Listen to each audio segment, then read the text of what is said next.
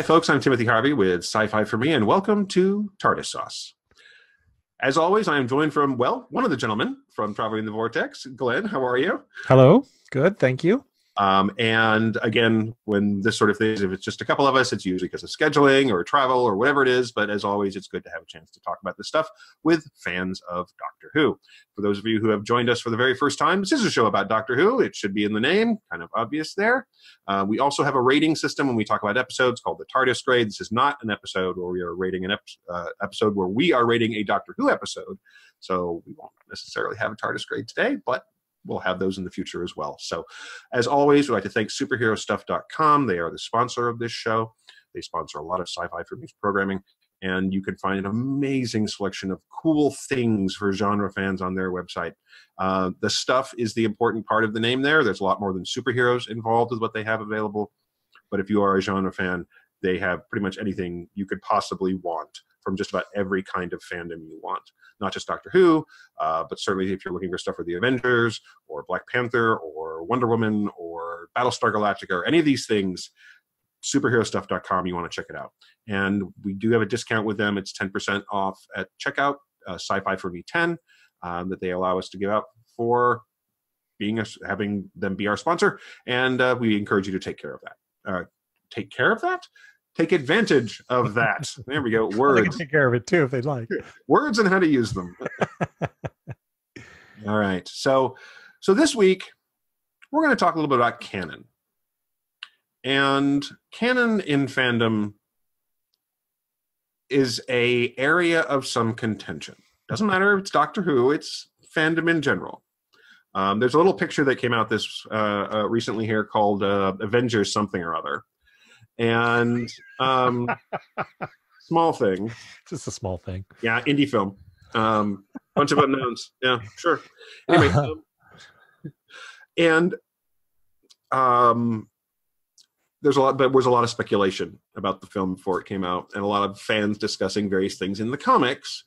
And uh, this conversation, I saw a few things talking about what if, uh, you know, what if uh, issues of the comic, the comic book What If, right. which is sort of DC has Elseworlds, uh, Marvel has What If, and it's, and so they're like all these different things. This is how they're going to do it. There was an issue of What If. I'm like, whoa, whoa, whoa, okay, whatever. Um, but things like that, things like um, uh, What If, Elseworlds, Hyper Time, a lot of other comic book companies do the same thing where you have alternate versions of characters. You're able to tell different kinds of stories that don't fit in the main continuity. No one is treating them as this is the story, this is part of the history.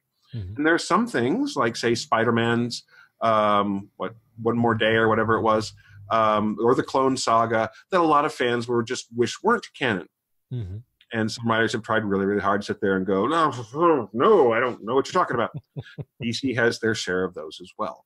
Um, some fans consider the most recent Star Wars film to be something that they wish was not in canon. It's fans get passionate about this stuff, mm-hmm. and the bigger the thing, the more history it has, the more this becomes blood sport, maybe a little bit. Mm-hmm. Um, Doctor Who has over 50 years of stories, years where the only thing you could get were the novels, which were not published by the BBC.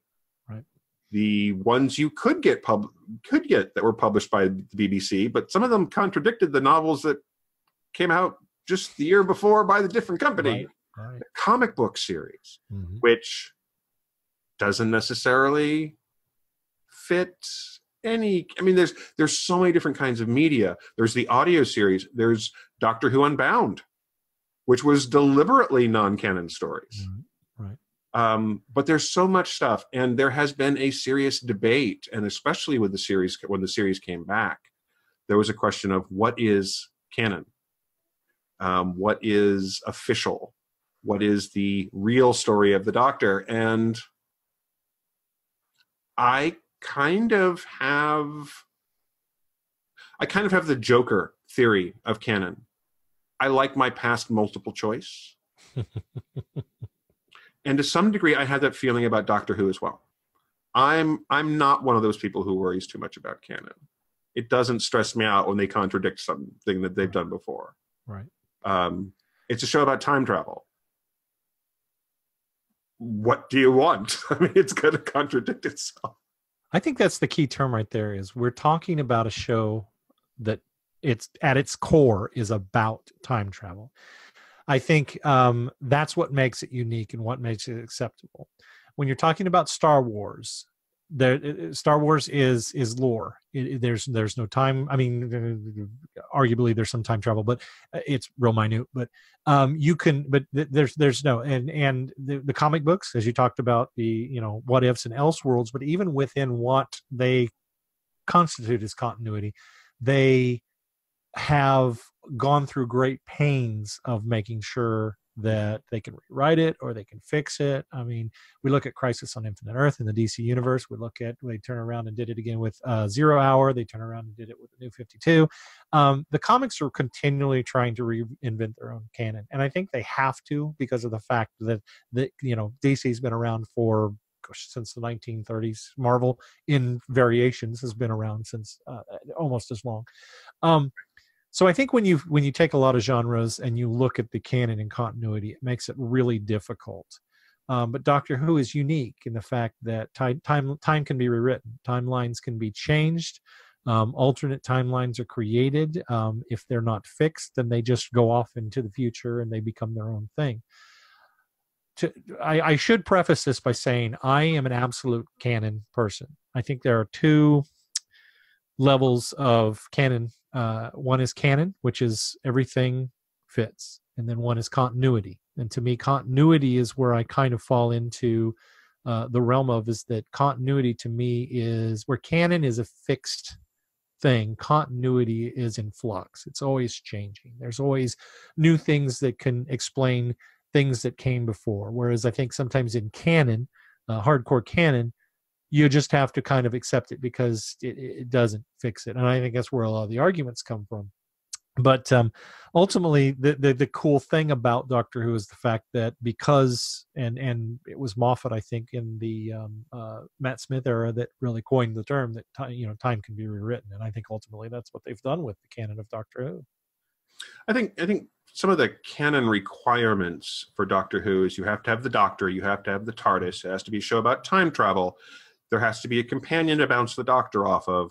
It has to be a story about someone who is at their core willing to do go to great lengths to save lives. If you hit those things, you're probably playing within the core canon. Sure. Um, and yes, continuity gets interesting because there's some definitely. I mean, Atlantis has was destroyed how many times in Doctor Who?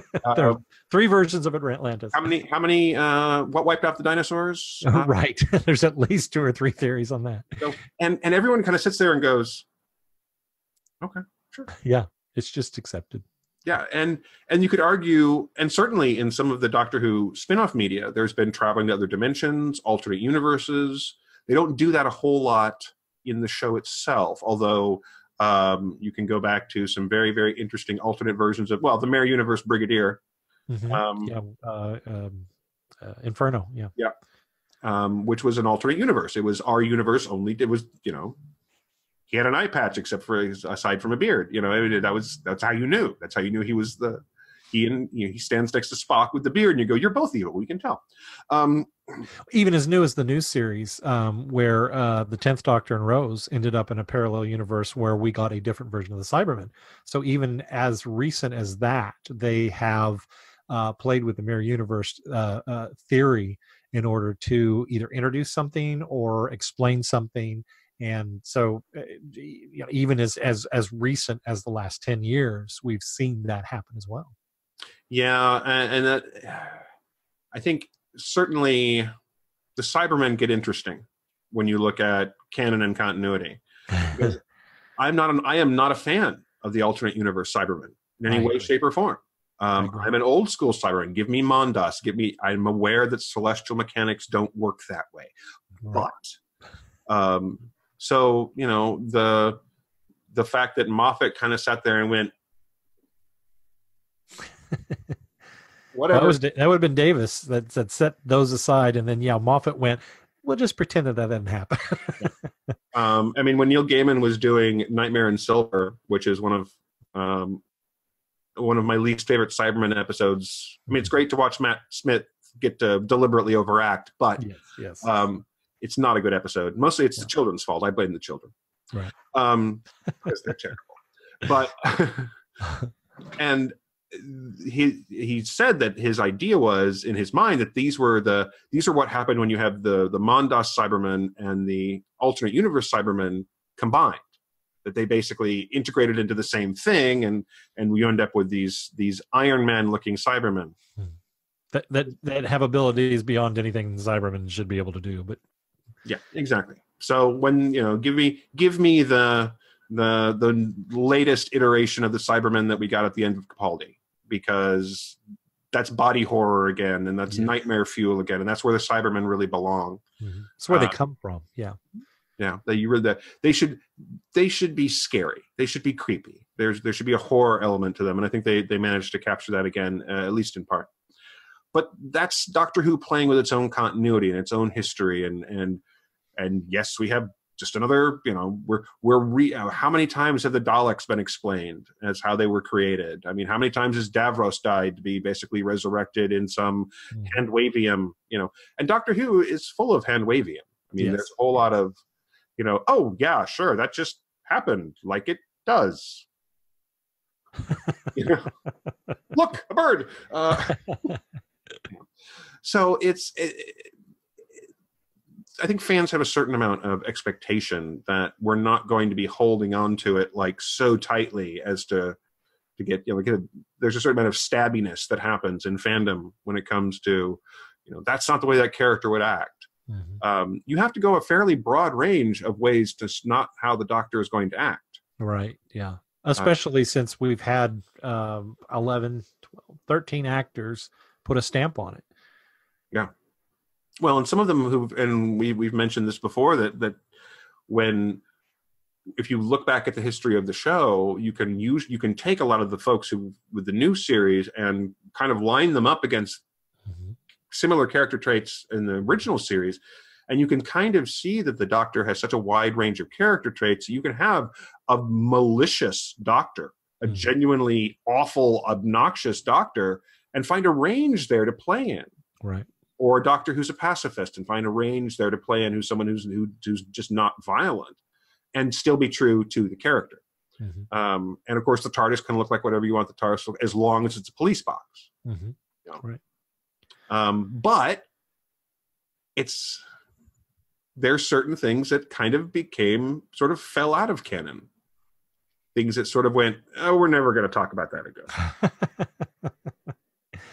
well, I think on, on top of that, as you alluded to, the the the books um, in the late, uh, I guess it would have been the early 1990s when Virgin got the licensing for Doctor Who, and they decided to take Doctor Who forward into the future because at that point it looked as though tel- uh, the television series was done. Um, to to to see and to read Vir- uh, Virgin come up with some really intelligent stories that really led to uh, weighed heavy at times not always but at times um weighed heavy on exploring the doctor's past Mhm. all the way up until Lungbarrow where we suddenly get um you know the doctor's house and some explanation for the background and the mystery and we had the the the um the, the idea of the other and the idea of, of of time lords on looms and then to suddenly have doctor who come back to television um right in the middle of that and uh, say, "Oh well, you know, I'm half human on my mother's side." You know, it, it little things like that. It's like, "Oh no, you know what? do- Now, now what do I do?" And I think that's the the the, the thing that most people. I think most people have their own head canon. Mhm. Most people have the uh, amount of elements that they accept as part of the continuity of Doctor Who, and I think ultimately probably Doctor Who fans are probably unique in that fact that they are. I mean, don't get me wrong. There are arguments out there. Their fa- canon will always strike up uh, heated arguments on, on any genre. Um, but Doctor Who, I think, is is is a little more um, tolerant of that because a lot of people have uh, how much you have worked out in your head. And I think uh, Doctor Who is so massive as far as media that's involved in it comics and audios and radio programs and books and novels and, and just everything that's going on that there are very few people that have read or seen or listened to all of it. Yeah. So ultimately, what you do is you find uh, your canon is based on what you're familiar with, what you have uh, uh, read or listened to in the past, and so ultimately you kind of piece it together uh, from that. From from them from that. Um, I, for one, again, as I said, I want everything to tie in together, and so I, in my head canon, go to great lengths to make explanations to myself to rectify why the doctor uh, mm-hmm. did something here that contradicted here. But I think ultimately, going back to the uh, television series, I think a lot of people on the whole feel that the series itself is the the only thing that is beholden to canon. So anything that has been on television is canon. Mm-hmm. Um, but then ultimately you have things like um, well Moffat was really good about doing this in Time Heist, um, showing a picture on the database of criminals of Abslom Daak, who mm-hmm invented for the comics in right. the wilderness eras era. So suddenly, oh, you've got people pointing, going, okay, well, if you're going to hold the television series as the ultimate canon, suddenly we've canonized anything that Abslom Daak is in in any of the side media. And then Moffat went even further by uh, doing Big Finish a favor, who I think a lot of people probably say Big Finish is probably just the step down mm-hmm. outside of being canonized, yeah. um, and that people do consider that part of the continuity. But to have Moffat take it a step forward and drop two of the companion characters from the Big Finish series name in um, Night of the Doctor, right? Yeah. Suddenly canonizing them. I mean, it's it just it it, it it and it's almost like Moffat was trolling those people that were going, well, you know, the the TV series is the only thing that's canon. Oh, but wait, we can also canonize other things by these little offshoot comments that we make. So I've always thought that that was kind of uh, devious on his part, but also a lot of fun to say, hey, you know, if you want to accept this as canon, we'll call it canon as well. So, well, it also gets fuzzy when you look at something like Human Nature, mm, right? Which was a novel originally and very much um, very much up in the air of whether or not it would be canon because it was part of the novel line that was not cons- they really weren't apparently pulling anything from for the new series and then it's adapted into a two-parter uh, as as you know one of the and, and truly uh, I think one of the best two-parters in in the current you know the new run of Doctor Who I think it's, it's an excellent couple of episodes. Well, it's certainly one of the best even Virgin novel, uh, new adventure novels. Oh, I mean, yeah. it, it, it, even there, uh, it was Paul Cornell wrote those was just an, an, incredible story already. So I was already excited to the fact that they were adapting it for for television, just knowing the accolades that had gotten as as that because I had read it at that point. I mm-hmm. actually went back and read it after I saw it, but uh, I was excited because knowing the accolades that it had gotten um, as a standalone novel, uh, you know, years prior to that, I was excited. But it does it it causes that's that's where the real hiccups are because the Virgin New Adventure novel is uh, the Doctor and Bernice Summerfield well, it's the seventh Doctor as well. Seven, yeah, I'm sorry. Yeah, the seventh Doctor. The was a very different character. Than, yeah, is is Ten and and uh, Martha. So it does. It throws a real hiccup in there. Which one's right? Another good example of that would be um, Shada. Uh, Shada was, you know, created in the 1970s uh, because of the massive, uh, I think it was a writer strike, mm-hmm. or it wasn't even a writer strike. It was a strike, a BBC strike, that they didn't end up finishing that story. Well, as we all know, years later, they uh, a Big Finish and uh, the BBC got together to do a webisode with Paul McGann and Romana, which fortunately Romana wasn't a change, and K9. But suddenly we've got the Eighth Doctor in that position, right, going through the motions and the events. And for a lot of people who accepted the fact that the BBC did that as a webisode, that that would count as canon within the continuity of the Doctor Who universe, mm-hmm. only to have the BBC and to entertain later come back and animate the missing segments that didn't get filmed, so that the seventh do- or that the uh, fifth, fourth Doctor's uh, version of Shada exists in continuity because it's televised. Well, I guess it not yet, but it will have been Right, by yeah. the time we, we, we get around to it. So I think BBC America is going to televise it before they release it here in the states. So so you have to look back and go, okay, at the very least, it's on film because eh, there's DVD versions of it now. But so you you have those little hiccups and those bumps of well, okay, so which story gets to exist and which one doesn't get to exist in continuity because it's the exact same story. It just happens to feature a different version of the Doctor. Right. Well, and and you look at uh, you look at human nature again with the TV show, and up until that point, there was real question whether or not the Eighth Doctor Existed. was canon, where the movie was canon. Yeah. Where Paul McGann's portrayal, yes, we knew that that there was a ninth. You know, we we started off with Eccleston's ninth Doctor, but the whether or not the Eighth Doctor, we we left with McCoy, we started with Eccleston. Whether or not the the McGann Eighth Doctor was canon was very up in the air until the sketchbook Yes, that's and right. then the notes where he would, he would write it. He was telling himself these stories about this, you know, this crazy and insane life that he saw in his dreams. And there was a picture of Paul McGann, and fans went, "That's it." but aha, there was a crude picture of Paul McGann. This is this this is what annoyed me so much about that situation is when I saw that I went, oh okay, look, Eighth Doctor. So we're we are counting Paul McGann's Doctor as the Eighth Doctor. He has been canonized by this. But lo and behold, I go to the internet and everybody's gone, well, you can't, re-" not everybody, but there's a faction of people out there going, well, you can't necessarily say that was McGann. Looked like McGann to me. But a lot of people saying it's such a crude sketch. It could have been any incarnation. It could have been anybody yeah, And I I'm know, like, people come on so then i felt like i got uh, rectified when uh, the next doctor comes out and we actually get a image of because when he does the info dump on the or the, literally the info dump on the uh, with the uh, little uh, Dalek or not Dalek uh, uh, was it a Dalek cy- or is it a Cyberman Cyberman thing, yeah. yeah thing. And so now suddenly we automatically get an image of the eighth doctor and i thought aha okay so you can't argue it now because now we have seen paul mcgann in that. We saw a flashback of him in that.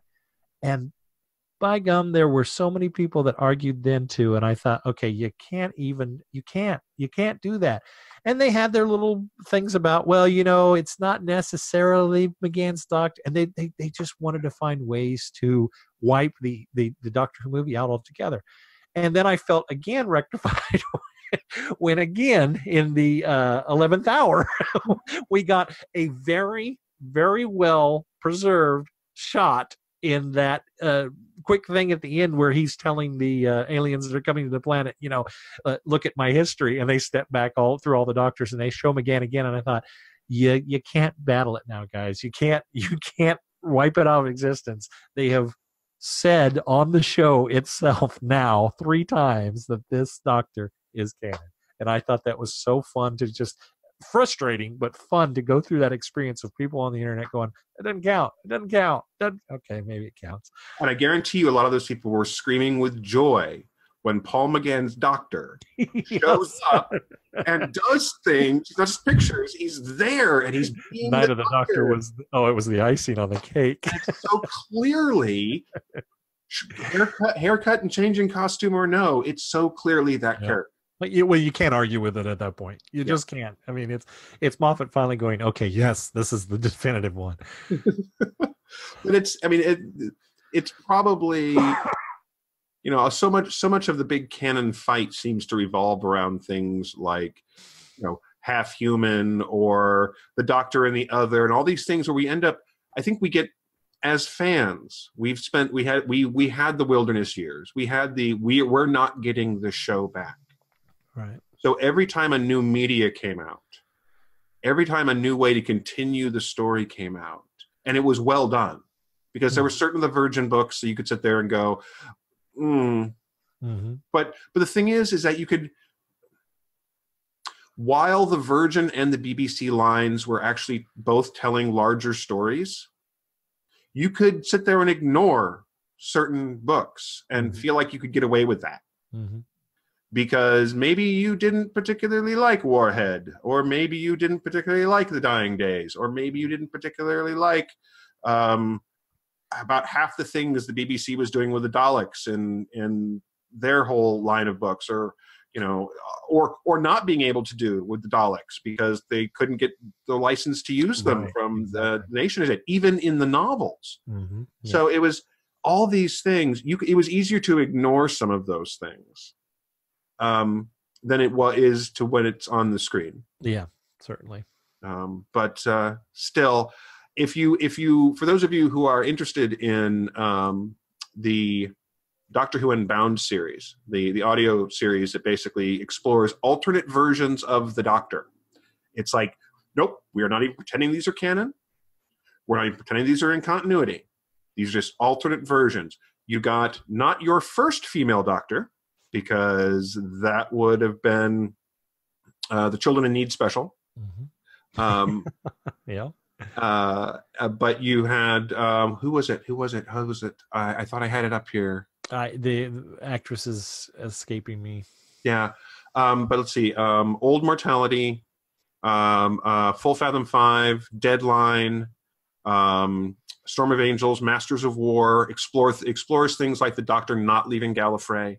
Oh, we get David Warner as a doctor by David too, Warner as a which doctor, is yeah. fantastic. Yeah. Um, in fact, there have been a lot of people who have said he should play the part at various points in time, and um, I would he not argue with that. then he gets to. So yeah, there's so much stuff to look at, and unfortunately, we could talk more about this, but we are out of time because that's how it works. We keep talking. We could so much more we could talk about. Uh, but uh, we, we do appreciate you guys uh, watching us here, and we do appreciate uh, superherostuff.com for being a sponsor of the show. Again, check out their site. They have a lot of fantastic things there, and check, you know take advantage of the discounts. Sci-fi for me ten, and uh, use that at checkout and save ten percent off your total order. Glenn, always a pleasure. Thank you so much. Thank you. And we hope you guys will join us again next week for another episode of TARDIS Sauce.